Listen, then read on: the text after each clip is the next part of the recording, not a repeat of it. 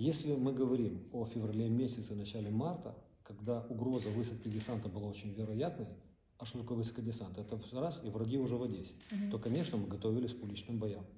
Когда прошло время, мы укрепили внешние границы нашего города и вынесли рубежи защиты дальше, то сегодня мы говорим, что нам необходимо переместить то, что у нас есть ИЖи, на за внешний периметр города и строить линию обороны, активную линию обороны за пределами нашего города. Поэтому я людям объясняю, и сегодня вам говорю о том, чтобы не волновались, мы Одессу не собираемся не то что сдавать, мы ее защищать, отстоим, и обязательно победим.